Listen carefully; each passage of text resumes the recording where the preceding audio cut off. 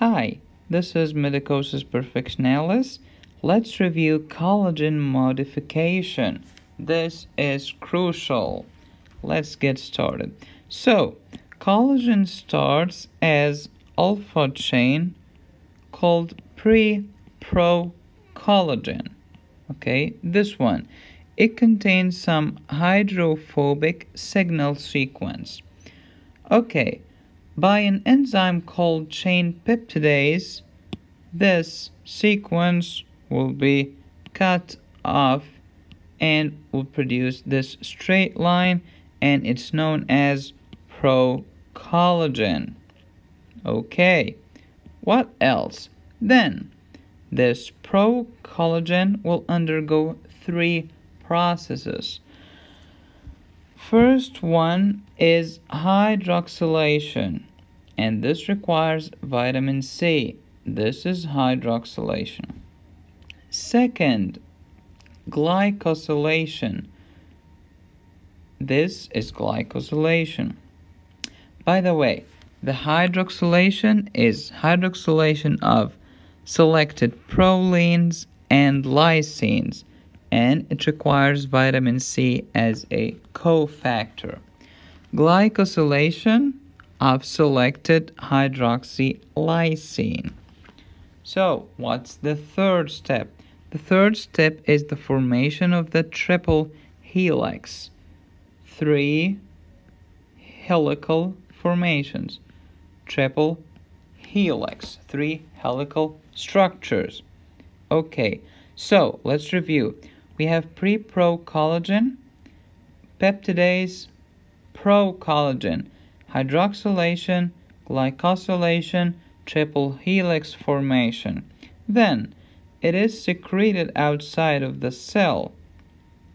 Since it's made inside the rough endoplasmic reticulum, it will go to the outside of the cell as the triple helix.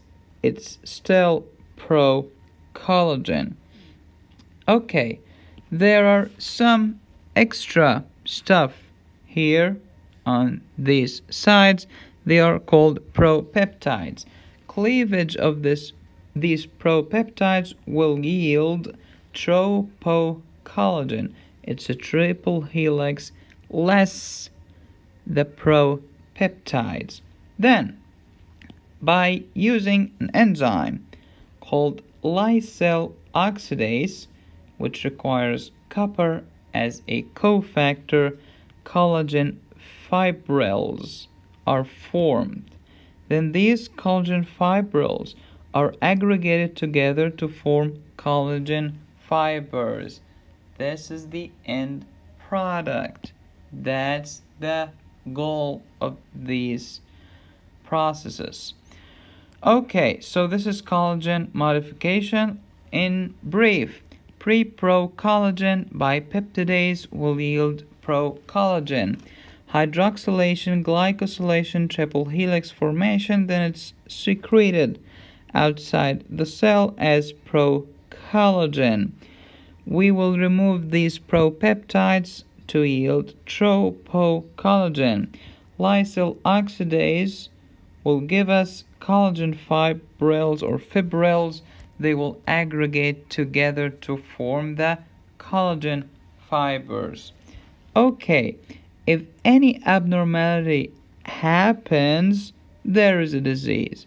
So, for example, a problem with vitamin C called scurvy will yield defect in collagen modification. That's why in scurvy we get bruising. Why is that? These bruises are from lack of collagen fibers in the wall of the blood vessel. So we get bruises. Also, in this hydroxylation step, Ehlers-Danlos syndrome type 6 is in this step. Okay, lysyl oxidase.